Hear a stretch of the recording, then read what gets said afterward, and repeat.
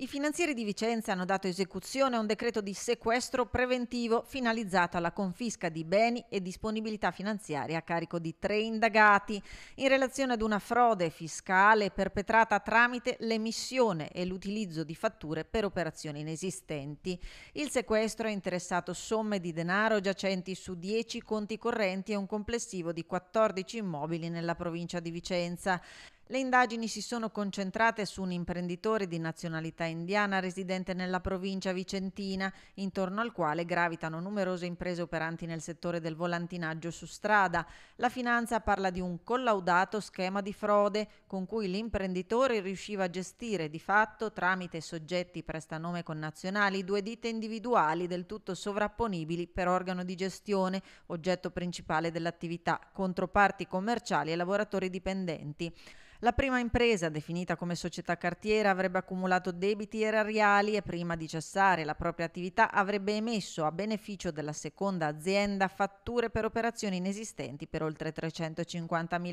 euro. La Procura di Vicenza ha dunque deferito all'autorità giudiziaria due persone, ovvero i titolari delle due ditte, per i reati ipotizzati di emissione e utilizzo di fatture per operazioni inesistenti o messa dichiarazione, contestati in concorso con l'imprenditore indiano in qualità di amministratore di fatto di entrambe le società.